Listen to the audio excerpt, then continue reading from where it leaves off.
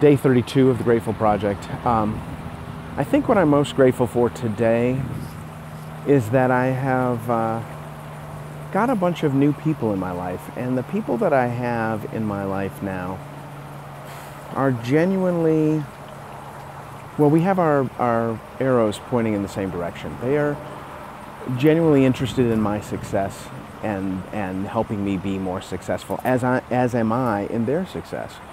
Uh, there was a long period of time where I was surrounded by people who I thought were more of my friends, and I have uh, seen that they weren't, and that their interests were just not aligned with mine.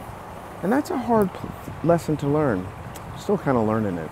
There's there's just a lot of people out there who just aren't doing aren't working for others.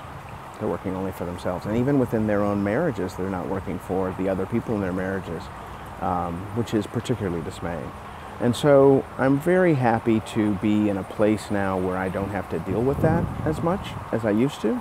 And instead, I've surrounded myself with people who, flawed, as all of us are, um, are still ready, willing, and able to give to others and give to the people that they care about around them a lot.